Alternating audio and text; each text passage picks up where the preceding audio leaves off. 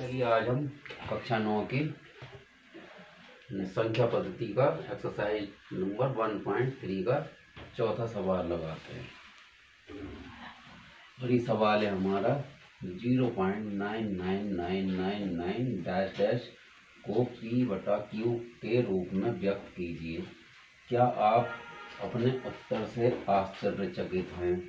अपने अध्यापक और कक्षा के सहयोगियों के साथ उत्तर सार्थकता पर चर्चा कीजिए। आप इस अपने इस उत्तर से कितना आश्चर्यचकित हैं, ये जो है, आप अपने कमेंट बॉक्स में हमें बताना। तो अब इसे हल करना शुरू करते हैं।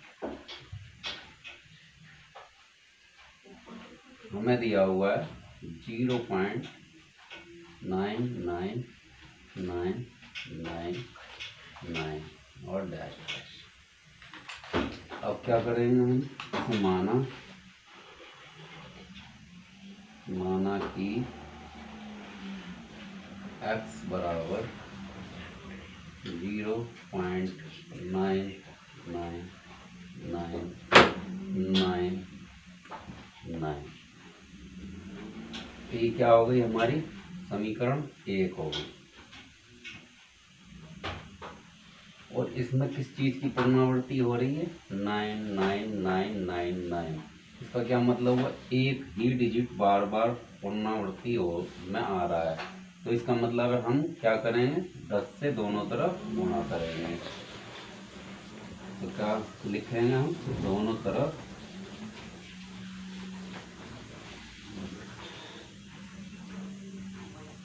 दस से गुणा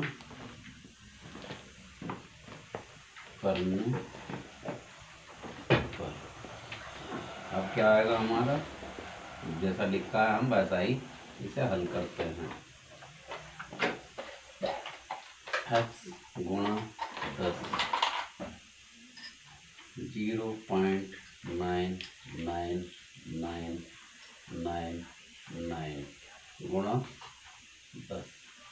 अब ये क्या हो जाएगा टेन एक्स यानी कि दस एक्स अब ये एक बार इससे दस की गुणा करेंगे तो ये हमारा आपको पता है क्या ये पॉइंट इससे एक संख्या आगे बढ़ जाएगा। तो ये क्या हो जाएगा?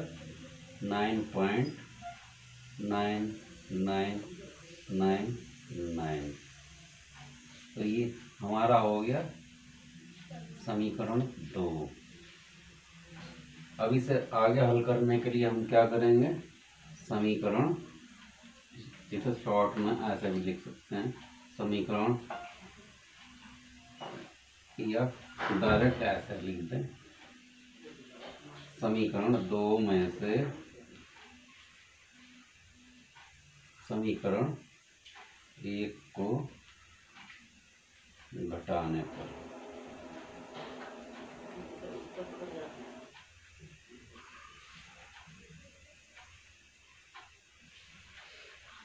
घटाने के लिए कैसे लिखेंगे दोनों समीकरण को, समीकरण दो को ऊपर लिखेंगे nine point nine nine nine nine और समीकरण दो को नीचे। Zero point nine nine nine और नाइन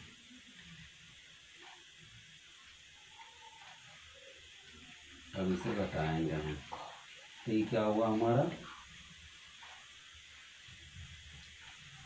टेन एक्स में से वन एक्स गया तो ये हुआ हमारा नाइन एक्स। और ये क्या बचेगा हमारा? ये पॉइंट के बाद में ये सब एक जैसे हैं। Nine nine nine nine nine है। इसमें चाहे एक नाइन और लगा दो, चाहे इसमें से एक कम और कर दो, क्योंकि यहाँ पर हमारा डैश डैश लगा हुआ है। तो इसके बाद में पॉइंट के बाद में सारे संख्याएँ सेम है। तो ये क्या बचेगा इधर? हमारा नाइन बचेगा। अब इसे सही तरीके से लिखेंगे तो ये क्या हो जाएगा? एक साइड ले जाएँगे। इधर ये गुणा में तो इधर आने पर ये भाग में हो जाएगा। नाइन से नाइन चला जाएगा। तो इसका मतलब क्या हुआ? इसका उत्तर आया एक जो कि पी अपॉन क्यू के रूप में व्यक्त किया जा सकता है। क्योंकि एक बटा एक लिख देंगे तो इसे पी अपॉन क्यू के रूप में व्यक्त किया जा सकता है।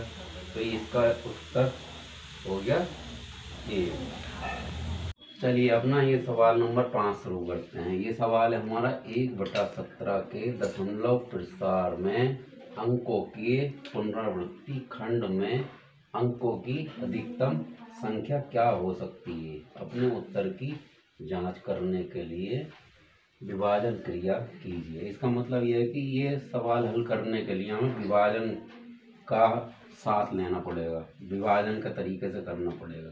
तो इसके लिए क्या करेंगे हम? सवाल लिखते हैं।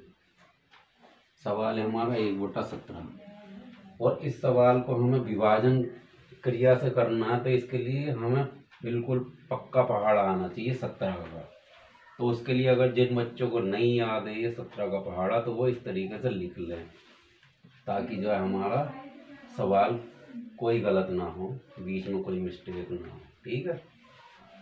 तो अब हम इसे इस तरीके से लिखेंगे। अंश को अंदर लिखेंगे और हर को बाहर लिखेंगे।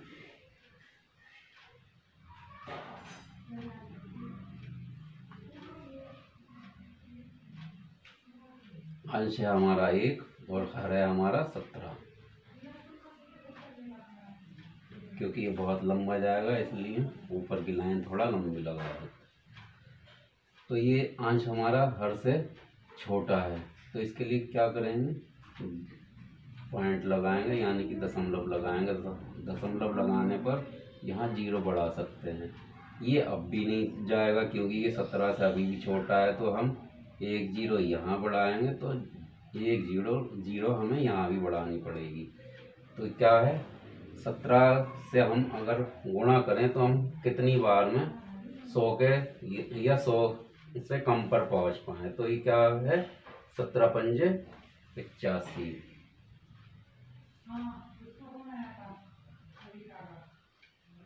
अभी से घटाएँगे, क्या आएगा हमारा?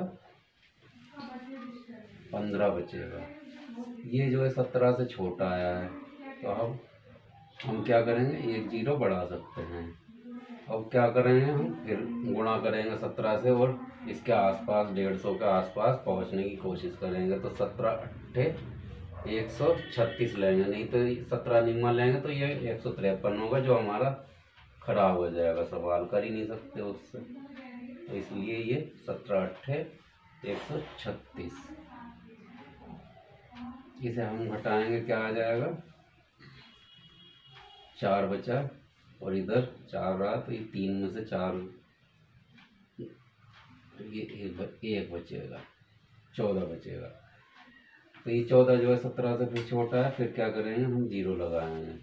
फिर ये हम देखें, ये जाएगा हमारा सत्रह अट्ठे, फिर से जाएगा ये सत्रह अट्ठे, एक सौ छत्तीस। तो ये कितना बचेगा हमारा, एक सौ चालीस में से एक सौ छत्तीस घटा है तो चार बचेगा। ये चार हमारा फिर छोटा है तो क्या करेंगे? ज़ीरो लगाएँगे। तो ये जाएगा हमारा सत्रह दोनों चौंतीस। कितना बचेगा? छः बचेगा। फिर हम यहाँ ज़ीरो लगाएँगे क्योंकि ये सत्रह से छोटा ही है। अब देखेंगे हम सत्रह तिया इक्यावन।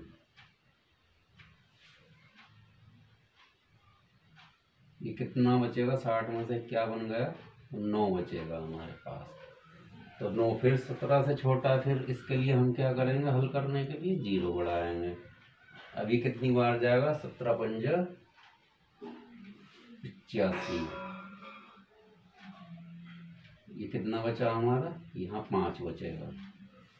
अब ये पाँच तो ये पाँच भी हमारा जो है सत्रह से छोटा है, क्या करेंगे? ज़ीरो बढ़ाएँगे, क्योंकि हम दशमलव लगा चुके हैं बहुत पहले। तो ये फिर क्या, कितनी बार जाएगा? दो बार।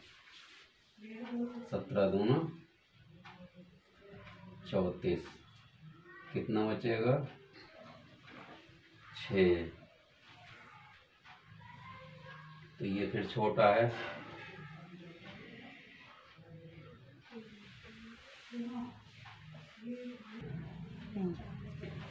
तो ये क्या आया साठ। साठ हो गया ये हमारा।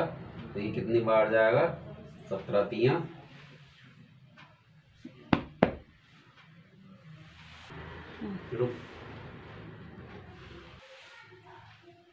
ये पचास में से चौंतीस गया कितना बचेगा हमारा? सोलह। तो ये सोलह जो है, फिर सत्रह से छोटा है। फिर क्या करेंगे? ज़ीरो लगाएँगे यहाँ। सत्रह निम्मा एक सौ तिरपन। अब इसमें से घटाएँगे, कितना बचेगा? सात बचेगा। तो ये सात भी सत्रह से छोटा है, अब क्या? यहाँ ज़ीरो बढ़ा देंगे अब इसे हम सत्रह को ऊपर लिख लेते हैं, क्योंकि ये लंबा सवाल है, आपको दिखना भी चाहिए सही से। यही वाला सत्तर हमने लिया है यहाँ। तो ये कितनी बार जाएगा? सत्रह चौका अड़सठ। अब इसे घटाएँगे, कितना बचेगा हमारे पास? दो बचेगा। फिर ये सत्रह से छोटा है फिर क्या करेंगे? ज़ीरो लगाएँगे। ज़ीरो लगाएँगे तो ये जाएगा एक ही बार। सत्रह एकदम सत्रह। कितना बचेगा? यहाँ बचेगा सत्रह तीन बीस। तीन बचेगा। अब आएगा हमारा, ये फिर सत्रह से छोटा आया तो क्या करेंगे? एक ज़ीरो लगाएँगे। ये फिर एक ही बार जाएगा, क्योंकि दो बार कर देंगे तो चौंतीस हो जाएगा, क्योंकि उसे घटा ही नहीं सकते, गड़बड़ हो जाएगा। सत्रह ही कम सत्रह। अभी कितना बचा सत्रह में से? वो तीस में से सत्रह गए। तीन और तेरह। तेरह बचेंगे फिर ये, फिर सत्रह से छोटा आया, फिर क्या करेंगे? ज़ीरो लगाएँगे। अब कितनी बार जाएगा ये? हमारा जाएगा सात बार। सत्रह सत्ते, एक सौ उन्नीस। अब एक सौ तीस में से एक सौ उन्नीस को घटाएँगे, कितना बचेगा? ये यहाँ एक बचा और यहाँ तो ये कितना बचेगा? यहाँ, दो बचा, दो में से एक का एक। तो ये फिर हमारा सत्रह से छोटा है, फिर क्या करेंगे? आपको पता ही है, ज़ीरो लगा देंगे। तो ये ये फिर क्या, किससे कटेगा? छः से। सत्रह छक्का, एक सौ दो। एक सौ, दस में से एक सौ दो गया, कितना बचा? आठ। ये फिर छोटा आया, फिर क्या करेंगे? ज़ीरो बढ़ाएँगे। ये कितनी बार जाएगा? हमारा चार बार। सत्रह चौका अड़सठ। ये कितना बचा हमारा? अस्सी में से अड़सठ गया। ये दो और ये एक। बारह बचेगा। ये फिर सत्रह से छोटा आया तो हम इसमें ज़ीरो लगा सकते हैं क्योंकि दशमलव लगा चुके हैं हम। तो अभी कितनी बार जाएगा? सत्रह सत्ते एक सौ उन्नीस। तो हमारा इसे घटाने पर क्या आता है? एक सौ बीस में से एक सौ उन्नीस जाएगा तो क्या बचेगा? एक।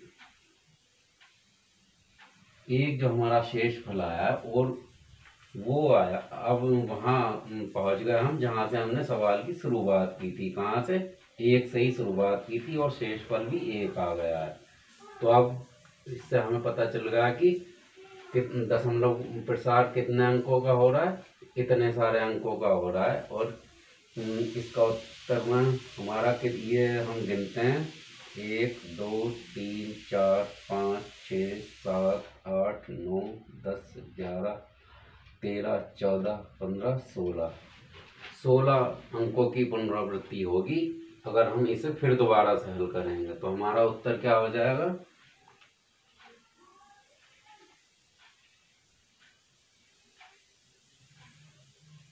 सोलह अंकों की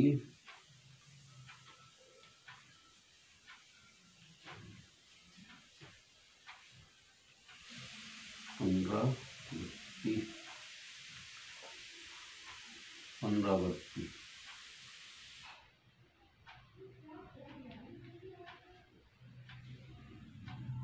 होगी जो हम्म। पुनरावृत्ति होगी जो इस प्रकार है।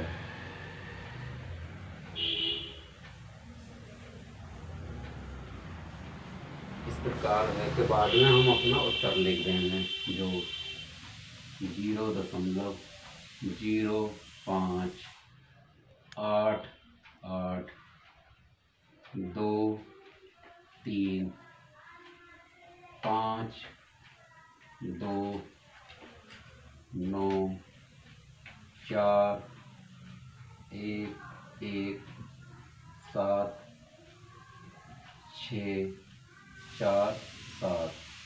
अब इतने अंकों की पुनरावृत्ति हो रही तो उसके लिए, उसे दर्शाने के लिए हम क्या लगा देते हैं? बार।